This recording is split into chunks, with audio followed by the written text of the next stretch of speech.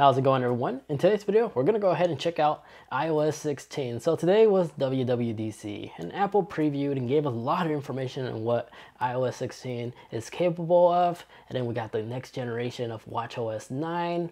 And then we also got a glance of the next generation Apple CarPlay, things we should be expecting in the near future from automotive manufacturers, cool tools they can take advantage of. And then we also got the unveil of the next generation MacBook Air. But in today's video, I managed to get my hands on the developer beta of iOS 16, and we're gonna go ahead and take a look at it together, as well as cover and see what else changed in Apple CarPlay. Let's go ahead and get started. So let's go ahead and take a look at the control center. Control center icons are very similar. They look exactly the same like they previously were, but the thing I have noticed is the lock screen. The lock screen is really where you see the massive overhaul as we have new fonts available for the color. If you long press, this gives us the ability to edit. And then you can simply, I guess you create as many as you like. And if you click custom and add a new one, here you see a variety of different custom wallpapers that are pre-made and featured. You have this cool little globe one this one's really interesting because this is the one that was featured on the keynote. But tap up here, you have the ability to customize different fonts. So I was trying to slide to see if there's any more. But I do like the fact you have a little color slider down here. And they have about six fonts to choose from. Maybe in the near future they'll add more. Underneath, you have the ability to customize widgets. They have everything from like air conditioning, it looks like, calendars, Apple Watch activities, you also got the Apple stocks. I'm pretty sure in the near future, we'll start to see more widgets get added. And then once you press done, so this is the Earth wallpaper, and this one should have a cool animation as soon as you unlock your device. Oh, and here's the activity rings. If you click on it, it has a quick shortcut. It'll quickly take you to the fitness app, which is new for the iPhone. Now you don't really need an Apple Watch to count your steps. But if we do the swipe, there's that cool globe animation now, I was reading somewhere that Face ID was supposed to support landscape mode. Uh, let's go ahead and test this out live. So if we put our device on landscape mode, let's see if Face ID can actually unlock without rotating it. Uh, so far, it doesn't seem like it's working. No, unless we rotate, yeah, there we go, it unlocks. So maybe in a new feature, maybe in future updates, this will become supported. So another new thing that was recently added is now whenever you send a message, you have the ability to unsend. So if we send this message and we just go ahead and long hold, now here it is, undo message. And it just goes away just like so, but it will notify the chat that you did indeed remove the message, just as unknown what was previously said.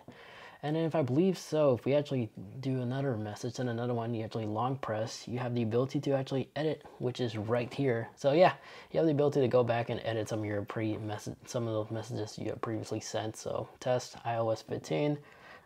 God damn it, Alex, you're gonna get me demonetized. Uh, not the test I had in mind, but uh, you're on video. Gotta love my friend's humor. Another thing they also added was the capability to advance click and drag. So if we actually go ahead and go on our camera roll, I'm gonna go ahead and select this goofy photo that I took of myself wearing the Master Chief helmet. I am gonna go ahead and select the share button and go ahead and select this as a wallpaper. So using AI learning, this should be able to figure out how to do the three-dimensional in-depth to overlap the clock. Okay, well, I have a problem right here. Uh, the photo is too large, so I'm clearly not going to be able to overlap. And I don't really have another picture to demonstrate this. But Apple was previewing this, and it looked really great. Unfortunately, I just don't have a picture in hand that allows me to actually test this out. Or maybe it's still not it, there's a possibility it might just not be available as of yet because this is still in, in the development beta test.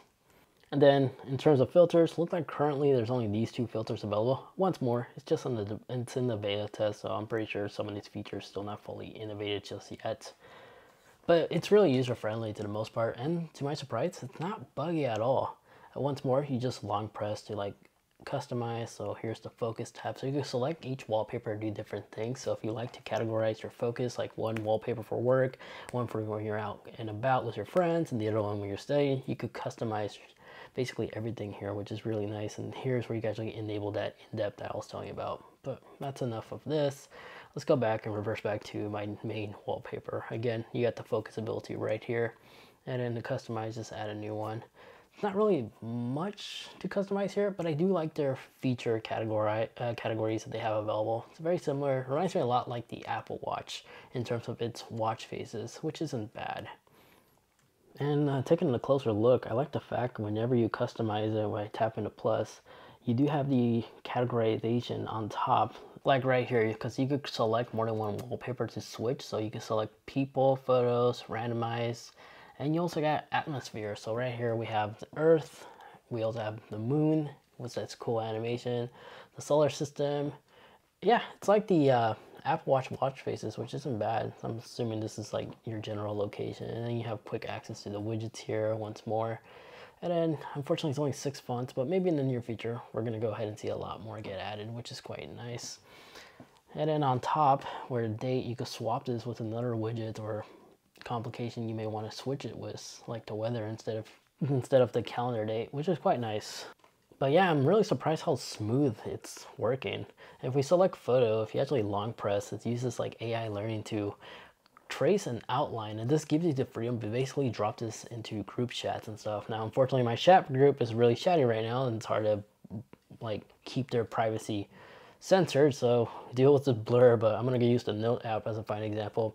You can literally click and drag photos from apps to apps, and you can literally just drop it and it automatically like outlines the subject, which is quite neat.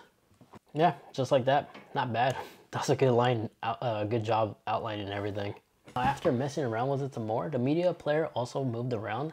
Now it's located at the bottom alongside with the uh, notifications. And the notifications have this cool rotating animation as well. So that's another new update, but everything else is easy to control. I don't really have much anything to complain about here. And before we move into Apple CarPlay, let's talk about the Wallet app. The Wallet app also got a new update. Now if we tap plus up here, we have the ability to add a driver's license. Now this was added previously, but only for Arizona, but now Maryland supports this. I'm just waiting for California. Now let's go ahead and quickly hop in the car and see what's new for Apple CarPlay. So here we are. Let's go ahead and give it permission to all this stuff. And here it is. So it looks 100% identical, including the same apps I previously had previously installed. So these are the third-party apps which mixed with the first parties in the settings tab. Let's go ahead and see what's new here. Did I mention? I'm on a beta? Let me go ahead and reboot this. All right, rebooting Apple CarPlay once more. It resumes back even after the crash. Driving focus looks the same announce message, same appearance. We still have always and always dark, automatic and always dark. I mean, uh, wallpaper, we have the same rows we previously had, nothing new here. The Siri animation, same. Okay, so everything is the same. We don't even have any new apps or anything like that. The message apps, it's 100% the same, trust me. The third-party music apps, same layout, same clean layout.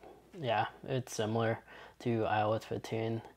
So nothing really got improved or added so far. Maybe in the near future we'll see more updates, but as of right now, it's pretty much the same.